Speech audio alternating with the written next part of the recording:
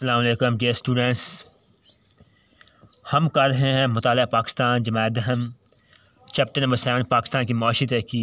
और आज का हमारा टॉपिक है पाँचवा अशरा और छठा अशरा। ये पाकिस्तान ने नाइनटीन एटी एट से नाइनटी एट, नाइनटीन नाइनटीन यानी उन्नीस सौ अठासी से लेकर उन्नीस सौ अठानवे तक और उन्नीस सौ अठानवे से लेकर दो हज़ार आठ तक पाकिस्तान ने क्या तरक्की की, क्या हदाफ मुकर किए क्या अचीव हासिल हुए, क्या नहीं हुए, आज हम इस पर डिस्कस करेंगे। उन्नीस सौ अट्ठासी तक उन्नीस सौ तिरानवे पाकिस्तान में सातवां पाँच साल मनसूबा तरक्की का पेश किया गया। इस मनसूबे में बैरूनी कर्ज़ों पर इसार करने के बजाय खुद इंसारी को तरजीह दी गई, यानी पाकिस्तान बैरूनी कर्ज़े पर इसार नहीं करेगा, खुद इंसारी करेगा, खुद कोशिश करेगा। उन्नीस सौ तिरानवे तक उन्नीस सौ अठानवे आठ पाँच साल मनसूबा पेश किया गया, जो कि दर्जदार है।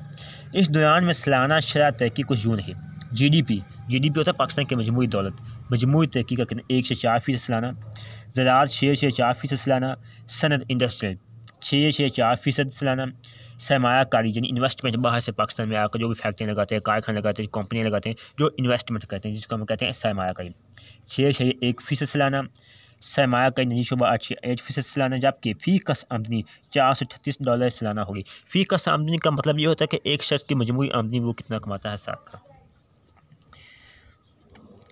ये अशिया सनती नजकारी का अशिया था।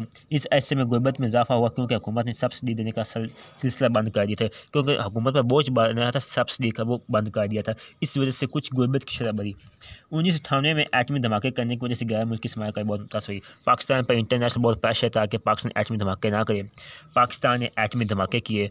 अमेरिका और यूएन ने पाकिस्तान पर पाबंदियाँ लगाई, जिससे पाकिस्तान की इम्पोर्ट एक्सपोर्ट की सियासत मुतासर हुई। ठीक है।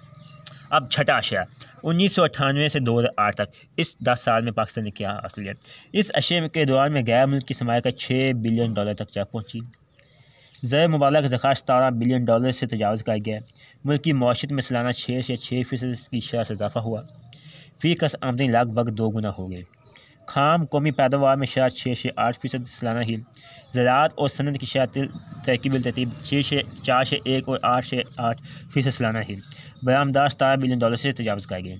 इस अशे की खास बात पाकिस्तान की बैन अवी इमदाद में इजाफा था। पाकिस्तान को बास इमदाद मिली, क्योंकि अमेरिका ने एक तो अफ़गानिस्तान पर हमला किया हुआ था। उस वजह से भी मुशरफ था पाकिस्तान की फ़ौजी हुकूमत। इसको भी अमेरिका वगैरह बहुत से ममालिक से फ़ौजी इमदाद मिली और इसमें पाकिस्तान की सियासत माशरत को सपोर्ट मिली थी। कई नई संत वजूद में आई जिनका ज़्यादातर तलक साफिन के इस्तेमाल किए हैं मतलब ए सी कार या फिर जेटर बिजली की शाह वगैरह मुशरफ के दौर में पाकिस्तान में फैक्ट्रियाँ बाहर से आनी शुरू मतलब गाड़ियाँ, मोटरसाइकिलें, जो एक मतलब होती थी एक मिसाल के तौर पर सेवेंटी मोटरसाइकिल, पाकिस्तान में आम लोग की रेंज में नहीं थी। तो उसमें चाइना के आने शुरू हो जाएगी। बहुत से पाकिस्तान में ना, इस दौर में कुछ काफ़ी हद तक इंटरनेशनल मार्केट से पाकिस्तान को आना हुआ। आने दिन बिजली की तलब ऐसे में बहुत फ़र्क पाया गया। मुल्क में बिजली गैस बयान की ज़्यादा में आ गया था।